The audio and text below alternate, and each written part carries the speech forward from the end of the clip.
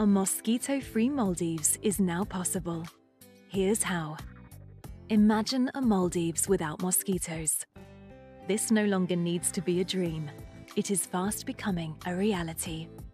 In the past 15 months, the mosquito population at Soneva in the Ba Atoll has collapsed by 98%. Over the same period, we stopped all chemical fogging.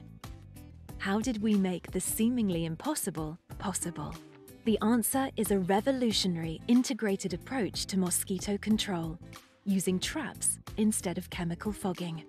500 mosquito traps have been placed all over Soneva the traps, developed by the German company Biogents, come in two types.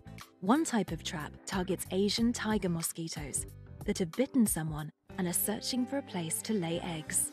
A second trap attracts mosquitoes searching for blood by using a combination of carbon dioxide and lactic acid to make an irresistible aroma mosquitoes mistake for a human. In addition to the traps, Soneva's mosquito hunters, Bart Knols and Akib Jahir, scour the island removing pools of stagnant water where mosquitoes lay their eggs. Often found in tarpaulins, coconut shells, or flower pot saucers. In the next few months, Soneva Fushi hopes to eliminate the few remaining mosquitoes and declare itself the Maldives' first mosquito free island. We've managed to do this without using chemical fogging, that's because there's a dirty little secret about mosquito fogging that nobody in the pest control industry that provides fogging services wants to talk about. Fogging doesn't really work. Chemical fogging has been done so much in the Maldives over the past decades that mosquitoes have built up an extraordinary level of resistance to the chemicals used.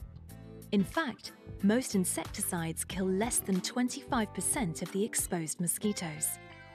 The other advantage to managing mosquitoes without using poisonous chemicals is that biodiversity on the island is booming.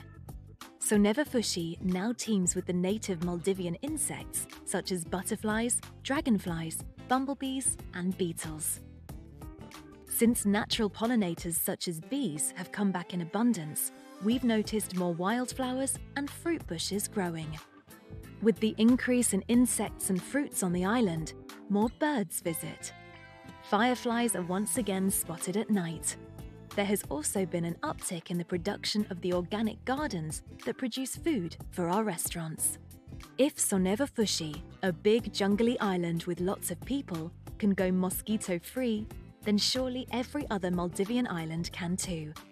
In fact, we have already started implementing the new mosquito control methods at Soneva Jani in Noonu Atoll which will hopefully become the second island in the Maldives to declare itself mosquito free.